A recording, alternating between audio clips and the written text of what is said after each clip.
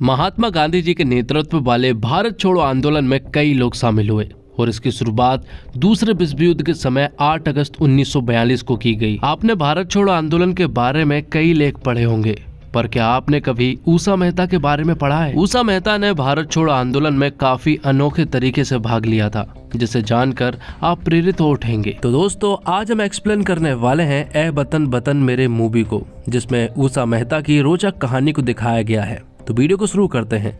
और अगर वीडियो अच्छा लगे तो वीडियो को लाइक ज़रूर कीजिएगा और इसी तरह की वीडियोस पाने के लिए आप हमारे चैनल को सब्सक्राइब भी कीजिएगा, ताकि आपको इसी तरह के लेटेस्ट और फ्रेश कंटेंट मिलते रहे। तो फ़िल्म की कहानी शुरू होती है सूरत में 1930 से, जहाँ पर कि एक टीचर जो है वो अपने नन्हे मुन्ने स्टूडेंट को पढ़ा रहा होता है।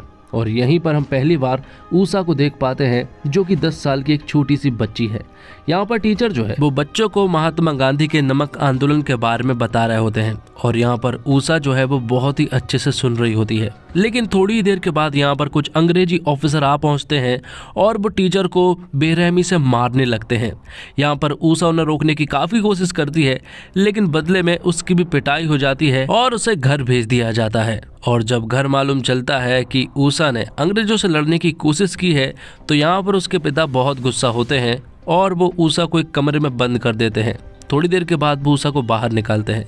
और यहाँ में मालूम चलता है कि ऊषा के पिता दरअसल में एक जज है और वो ब्रिटिश एम्पायर को बहुत मानते हैं। और उन्हें देश की आज़ादी में कोई भी दिलचस्पी नहीं है, जिसके कुछ सालों के बाद वो बम्बई में शिफ्ट हो जाते हैं, जहाँ पर कि हम 1942 के सीन को देख पाते हैं। जहाँ पर कि देश के बहुत सारे प्रदर्शनकारी जो है, वो ब्रिटिश एम्पायर के खिलाफ प्रदर्शन कर रहे होते हैं। और यहीं पर ऊषा भी अपने दोस्तों के साथ मौजूद थी, लेकिन तभी यहाँ पर अंग्रेज़ी ऑफिसर्स आ जाते हैं और वो इन लोगों को मारकर भगा देते हैं। अब बाद में ऊषा और उसके दोस्त जो है, वो बलवीर सिंह नाम के एक आदमी से मिलते हैं, जो कि कांग्रेस पार्टी का एक सदस्य है, और वो सभी लोग आज़ादी को लेकर लड़ाई लड़ रहे हैं। जिसके बाद ऊषा जो है वो अपने घर पहुँच जाती है। घर पहुँचने के बाद वो देखती है कि उसके पिता जो है, वो अभी भी चर्चिल की स्पीच की तारीफ़ कर रहे हैं। बाहर जाने पर उसके पिता एक सरप्राइज़ देते हैं। दरअसल में उन्होंने एक नई कार लेकर आए थे और उस कार पर ब्रिटिश एम्पायर का फ्लैग लगा हुआ था। ये देखकर यहाँ पर ऊषा उनसे कहती है कि चर्चिल की कार आप ही को मुबारक और यहाँ से वो चली जाती है। अब ये सारी बातें ऊषा जो है वो अपने खास दोस्त कौशिक को बताती है। कि मैंने अपने पिता के साथ ऐसा किया है। उसे बिल्कुल भी अच्छा नहीं लग रहा है। कौशिक हमेशा ऊषा के साथ रहता और हमेशा उसका सपोर्ट करता है, जिसके बाद वो लोग बलबीर सिंह के पास जाते हैं। बलबीर सिंह उन्हें अच्छी अच्छी बातें बताता है। और अब ऊषा के सभी दोस्त अब कांग्रेस पार्टी के लिए काम करने लगे थे और ऊषा के कौशिक और फहाद दोनों दोस्त इस कांग्रेस पार्टी में शामिल थे। ये देखकर ऊषा को बड़ा अच्छा लगा था। लेकिन ऊषा ने अभी ये बात अपने घर पर नहीं बताई है।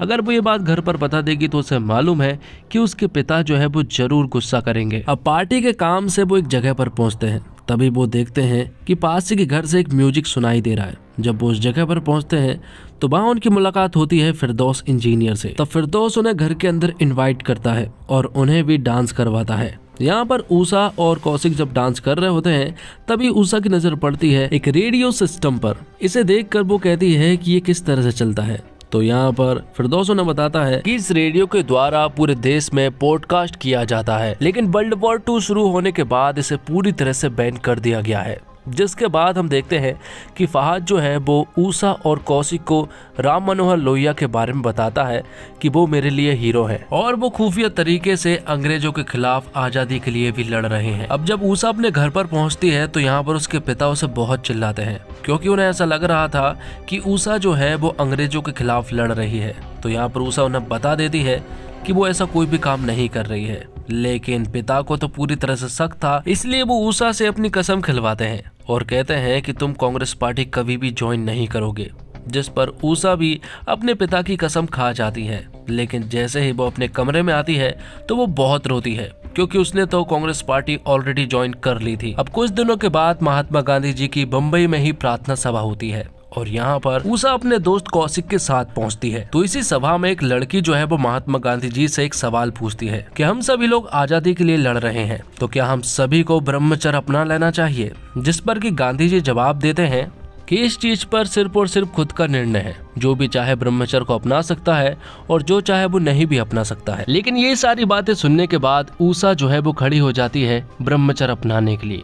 लेकिन तभी वो बाजू में देखती है कि उसका दोस्त कौशिक जो है वो नहीं खड़ा हुआ है और वो ऊषा को गंभीरता से देखता है और वो खड़ा नहीं होता है, जिसके बाद ऊषा जो है वो ब्रह्मचर्य की कसम खा लेती है। बाहर आने पर कौशिक यहाँ पर उषा से कहता है कि तुम्हें ऐसा नहीं करना चाहिए था। कौशिक को ऐसा लगा कि उसने हम दोनों के लिए एक बहुत बड़ा फैसला ले लिया था, लेकिन यहाँ पर उषा उससे कहती है कि जब तक सब कुछ आसान था, तब तक तुम मेरे साथ रहे। लेकिन आज बात बलिदान की आई तो तुम पीछे हट गए। तब यहाँ पर कौशिक जो है, वो उषा को छोड़कर चला जाता है और फिर गांधी जी के नेतृत्व में एक आंदोलन शुरू हो चुका था, जहाँ पर की ऊषा के साथ कौशिक और फहाद दोनों ही शामिल थे और इस आंदोलन में उन सभी लोगों ने हिस्सा भी लिया था। तो सब कुछ सही चल रहा था। ये आंदोलन को यूसा और उसके दोस्त जो है वो आगे बढ़ा रहे होते हैं। लेकिन तभी उन्हें मालूम चलता है कि गांधी जी को अरेस्ट कर लिया गया है। और भी बहुत सारे बड़े बड़े आंदोलनकारियों को भी अरेस्ट कर लिया गया है और कांग्रेस को पूरी तरह से बंद कर दिया गया है, जिसके बाद यहाँ पर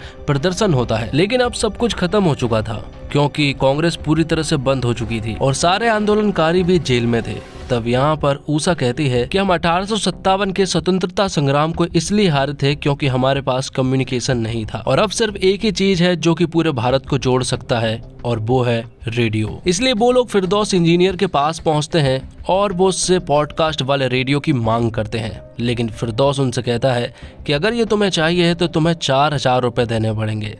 जिसके बाद ऊषा और उसके दोस्त जो है वो पैसे जोड़ने में लग जाते हैं।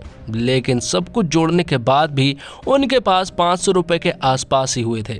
थोड़ी देर के बाद यहाँ पर ऊषा की दादी आती है और दादी यहाँ पर ढेर सारा सोना लेकर आती है और वो उनसे कहती है कि इनको बेचकर आराम से चार हज़ार रुपये मिल जाएँगे। और वो कहती है कि वो भी अपने भारत देश को आज़ाद होता हुआ देखना चाहती है। और यहाँ फिरदौस इंजीनियर के घर पर ही एक नौकर था, जिसने सारी इन्फॉर्मेशन जो है वो एक पुलिस को बता दी थी जो कि अंग्रेज़ों के लिए काम करता है। तो अब ऊषा और उसके दोस्त जो है, वो पॉडकास्ट वाले रेडियो को शिफ्ट करने लगते हैं और वो पुलिस ऑफिसर जो है, वो इन सभी को ये सब कुछ करता हुआ देख रहा होता है।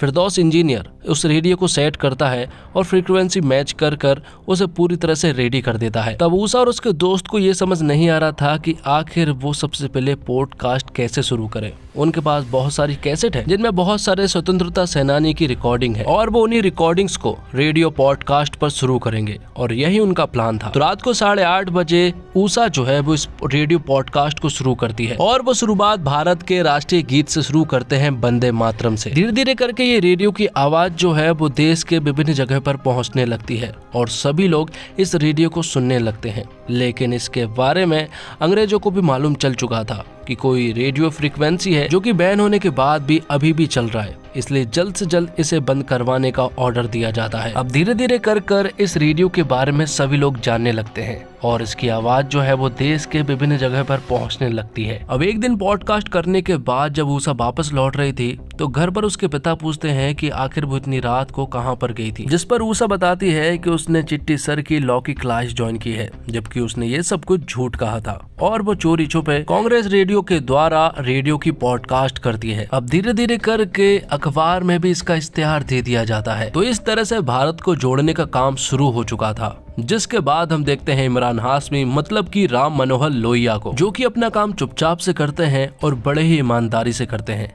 वो अपने साथियों से कहते हैं कि उन्हें इस रेडियो कांग्रेस पर बहुत भरोसा है और इन लोगों को हमें हमारे साथ शामिल करना चाहिए। यहाँ दूसरी तरफ़ अंग्रेज़ जो है, वो इस पॉडकास्ट के बारे में सब कुछ जानना चाहते थे, इसलिए वो इसे ट्रेस करना शुरू करते हैं। लेकिन उन्हें कुछ ज़्यादा पता नहीं चलता है।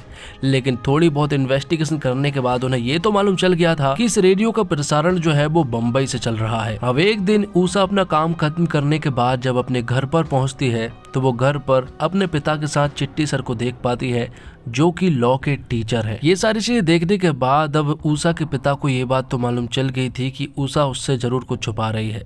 तो ऊषा उन्हें बता देती है कि वो कांग्रेस रेडियो के लिए काम कर रही है और उसने आपकी कसम भी झूठी खाई थी। ये सारी चीज़ें सुनने के बाद उसके पिता को गुस्सा आ जाता है। और वो ऊषा को कमरे में बंद कर देते हैं। और जब अगले सुबह ऊषा के पिता कमरे में जाते हैं तो वो वहाँ पर ऊषा को नहीं पाते हैं, क्योंकि ऊषा तो खिड़की तोड़कर वहाँ से भाग चुकी थी। उसने एक खत भी छोड़कर गई थी। उसने यहाँ पर लिखा था कि वो आपसे बहुत ज़्यादा प्यार करती है, लेकिन उससे भी ज़्यादा अपने देश से। और आपका प्यार जो है वो मेरे लिए बेड़ियों का काम कर रहा है। इसलिए वो इस घर को छोड़कर जा रही है। तो इस तरह से ऊषा ने अपने घर को छोड़ दिया था, जिसके बाद वो लोग आंदोलनकारियों से मिलने के लिए जाते हैं, जहाँ पर ऊषा की मुलाकात पहली बार हुई थी राम मनोहर लोहिया से। राम मनोहर लोहिया जब यहाँ पर ऊषा से मिलते हैं तो उन्हें बड़ी खुशी हुई, और वो यहाँ पर कौशिक और फहाद से भी मिलते हैं, जिसके बाद राम मनोहर जी बताते हैं कि तुम्हारी आवाज़ जो है वो देश के विभिन्न जगह पर पहुँच चुकी है, लेकिन हमें इस आवाज़ को पूरे देश तक पहुंचानी है और सारे देश को जोड़ना है। लेकिन यहाँ पर अंग्रेज़ों को इस रेडियो के बारे में अभी तक पता नहीं चल पाया था। इसलिए उन्होंने एक अंग्रेज़ी ऑफिसर को हायर किया जो कि काफ़ी चालाक था। यहाँ पर वो अंग्रेज़ी ऑफिसर जो है वो अपना दिमाग चलाता है कि इस काम को कोई कर सकता है तो वो एक इंजीनियर ही है। और यहाँ पर उन्हें फिरदौस इंजीनियर के बारे में पता चलता है। जिसके बाद हम उस पुलिस ऑफिसर को देखते हैं जो कि बलवीर सिंह के पास जाता है और उनसे कहता है कि तुम्हारा रेडियो कांग्रेस जो है वो खतरे में है। इसलिए वो लोग जल्द से जल्द फिरदौस इंजीनियर के पास पहुँचते हैं, लेकिन तब तक तो वो अंग्रेज़ी ऑफिसर भी उसके घर तक पहुँच चुका था। यहाँ पर वो गल लेकर उनके पीछे पड़ जाता है। लेकिन जैसे तैसे तो वो लोग यहाँ से भाग जाते हैं, लेकिन आखिर में सभी को बचाने की खातिर बलवीर सिंह खुद की जान दे देता है, जिसके बाद राम मनोहर जी उसकी श्रद्धांजलि में सभी को बताते हैं कि बलवीर सिंह की जान इस तरह से जाया नहीं जाना चाहिए। उसने अपनी जान इसलिए दी क्योंकि उसे आज़ादी चाहिए थी, और आज़ादी के लिए उसे अपनी जान की परवाह भी नहीं थी। अब राम मनोहर की ये सारी बातें सुनने के बाद ऊषा अपनी जान की परवाह ना करते हुए अब अपनी जान तक जोखिम में डालने लगी थी। तो ऊषा यहाँ पर कौशिक से कहती है की तुम ये जो सब कर रहे हो, वो मेरे लिए कर रहे हो या फिर देश के लिए कर रहे हो? यहाँ पर उषा उससे ये भी कहती है कि तुम देश के लिए कुछ करो या फिर ना करो। लेकिन मेरे रास्ते का पत्थर मत बनो, जिसके बाद इसी तरह से रेडियो को पॉडकास्ट चलता रहता है और भारत जोड़ने का ये कारवा आगे बढ़ता रहता है, क्योंकि अब देश के हर एक नागरिक तक ये आवाज़ पहुँच रही थी। वह राम मनोहर जी अपनी स्पीच को रिकॉर्ड करके देते। और रात को साढ़े आठ बजे ऊषा जो है वो अपने रेडियो पॉडकास्ट पर उसे चलाती जिससे कि सारा हिंदुस्तान सुनता और सभी लोग एक होने लगते। सारे हिंदुस्तान के अंदर अब जोश भर चुका था। सभी लोग एक होने लगे थे और अब उन्हें पूरी उम्मीद थी कि अब आज़ादी ज़्यादा दूर नहीं है। और इस चीज़ से राम मनोहर जी भी बहुत खुश थे, क्योंकि उनकी आवाज़ जो है वो पूरे देश तक पहुँच रही थी और रिस्पॉन्स भी बहुत अच्छा आ रहा था। दूसरी तरफ़, वो अंग्रेज़ी ऑफिसर जो है, वो इन्हें ट्रेस करने में लगा हुआ था। तब उन्होंने पुलिस की एक ऐसी वैन को मंगवाई, जो कि रेडियो सिग्नल को ट्रेस करने का काम करती है, जिसके बारे में राम मनोहर जी को खबरी के द्वारा पता चल गया था। तो यहाँ पर राम मनोहर जी बताते हैं कि अब अगर रेडियो पॉडकास्ट की तो बहुत प्रॉब्लम हो सकती है, लेकिन इसके बावजूद वो लोग रेडियो की पॉडकास्टिंग जो है, वो करते रहते हैं। तो इस तरह से वैन जो है वो ढूँढने में लगी हुई थी और यहाँ पर ऊषा जो है वो अपना काम करने में लगी हुई थी। जैसे जैसे बैन उस बिल्डिंग के पास आती जाती तो कामत नाम का आदमी जो है वो ऊषा को सिग्नल दे देता और ऊषा के पास सिग्नल पहुँचने तक ऊषा इस प्रसारण को तुरंत ही रोक देती। तो वो अंग्रेज़ी ऑफिसर जो है वो बिल्डिंग के आजू बाजू सभी जगह चेकिंग कर लेते हैं। उन्हें मालूम चल गया था कि लोगों ने हमें देख लिया है। तो यहाँ पर ऊषा और उसके पूरे सदस्य जो है, वो जगह को बदल देते हैं। ये बात अंग्रेज़ी ऑफिसर को भी बहुत अच्छे से मालूम चल चुकी थी। तो इस तरह से वो लोग जगह बदल बदल कर प्रसारण करने लगते हैं। लेकिन एक दिन ऊषा जब प्रसारण कर रही होती है, तभी अचानक से वो फिर से अंग्रेज़ी ऑफिसर जो है, वो उनकी बिल्डिंग के नज़दीक आ चुके थे। लेकिन इस बार उन्होंने बिल्डिंग के बारे में पता कर लिया था, जो कि सनसाइन बिल्डिंग थी। और यहाँ पर वो अंग्रेज़ी ऑफिसर जो है, वो इस बिल्डिंग के अंदर घुसने के लिए पूरी तरह से तैयार था। बिल्डिंग के सभी लोगों को बिल्डिंग से बाहर निकाला जाता और उनकी तलाशी ली जाती। तो यहाँ पर ऊषा अपने रेडियो का पूरा बोरिया बिस्तर समेट के उसे ठिकाने लगा देती। आखिर में जब वो बाहर आती है तो पुलिस वाले उससे पूछते हैं कि गोलियों चलने की आवाज़ के बाद भी तुम बाहर क्यों नहीं आई? तो ऊषा बताती है कि उसके पड़ोसी को पोलियो है और वो ठीक से चल नहीं सकता है। इसलिए वो उसकी मदद कर रही थी, जिसके बाद वो दोनों यहाँ से आसानी से निकल जाते हैं। लेकिन प्रॉब्लम ये नहीं थी प्रॉब्लम तो ये है कि आखिर अब वो आगे प्रसारण कैसे करेंगे? और उन लोगों को इसके बारे में पता कैसे चला? तो यहाँ पर कामत नाम का बंदा जो है वो उन्हें बताता है कि उन लोगों ने एक नहीं बल्कि दो वैन का यूज़ किया है। और दोनों वैन को उन्होंने अलग अलग डायरेक्शन में पहुँचाया। और जब वो दोनों ही हमारे बिल्डिंग के पास पहुँचे तो उन्हें एक्यूरेट बिल्डिंग का पता चल गया था। लेकिन यहाँ पर उनके पास इसका तोड़ था। और वो यहाँ पर एक और ट्रांसमीटर को यूज़ करने का कहते हैं, जिससे कि वो लोग उन दोनों पुलिस वैन को गुमराह कर सकते हैं। ये प्लान एकदम सक्सेसफुल लग रहा था। लेकिन इसके बारे में पुलिस अफसरों को भी बहुत अच्छे से मालूम है कि अगर हम उनकी जगह पर होते तो हम भी दो ट्रांसमीटर का यूज़ करते। तो ट्रांसमीटर को बनाने के लिए फिरदौस इंजीनियर की मदद ली जाती है और वो ट्रांसमीटर को बना लेता है, जिसके बाद वो लोग उस फिरदौस इंजीनियर के पास पहुँचते हैं तो उन्हें मालूम चलता है कि वो तो अपनी गर्लफ्रेंड जूलिया से मिलने के लिए गया है। जब वो उसके घर पहुँचते हैं तो उन्हें मालूम चलता है कि फिरदौस इंजीनियर को उस अंग्रेज़ी ऑफिसर ने गिरफ़्तार कर लिया है। और जो ट्रांसमीटर उसने बनाया है, उसे भी पूरी तरह से जब्त कर लिया गया है। तो अब अगर उन्होंने एक ही ट्रांसमीटर से प्रसारण किया तो वो बहुत ही आसानी से पकड़े जाएँगे। लगभग पाँच से दस मिनट के अंदर वो पकड़े जाएँगे। लेकिन ये स्पीच उनके लिए बहुत ज़्यादा ज़रूरी थी। इसलिए राम मनोहर लोहिया कहते हैं कि वो देश को ग्रीन सिग्नल देना चाहते हैं। इसलिए ये प्रसारण तो करना ही होगा। इसलिए तुम दोनों डिसाइड कर लो। मतलब कि ऊषा और फहाद कि तुम दोनों में से ये प्रसारण कौन करेगा?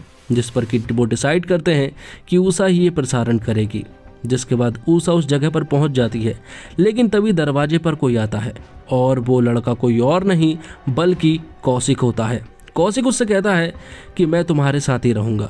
या तो पुलिस मुझे अंदर अरेस्ट करेगी, या फिर इस कमरे के बाहर। लेकिन मैं तुम्हारे साथ ही रहूँगा। तो प्रसारण शुरू कर दिया जाता है। और राम मनोहर लोहिया जी दिवाली के समय पर आज़ादी के आंदोलन के बारे में बात कर रहे थे। लेकिन दूसरी तरफ़, उस अंग्रेज़ी ऑफिसर को इसके बारे में मालूम चल जाता है और वो लोग बिल्डिंग के नज़दीक आने लगते हैं। कौशिक ऊषा से कहता है कि क्या हम इस रेडियो को ऑन करके यहाँ से जा नहीं सकते, जिस पर कि ऊषा कहती है कि हम इस प्रसारण को पूरा होने देना है। उससे पहले अगर पुलिस ने इसे बंद कर दिया तो पूरे देश तक ये आवाज़ नहीं पहुँच पाएगी। इसलिए हमें यहाँ पर रुकना भी है और पुलिस को रोकना भी है, जब तक कि प्रसारण पूरी तरह से पूरा नहीं हो जाता। यहाँ पर वो सारे पुलिस वाले जो है, वो बिल्डिंग के अंदर घुसने लगते हैं और कौशिक और ऊषा उन्हें रोकने में लग जाते हैं।